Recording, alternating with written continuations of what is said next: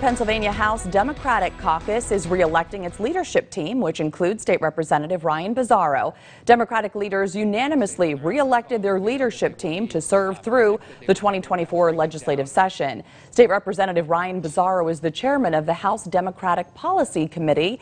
Bizzarro says he is ready to continue serving Pennsylvania residents.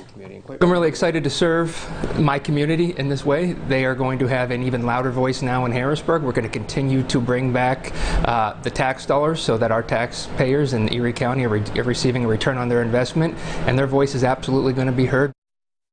In addition to Bizzarro, six other representatives were reelected for the Pennsylvania House Democratic Leadership Team.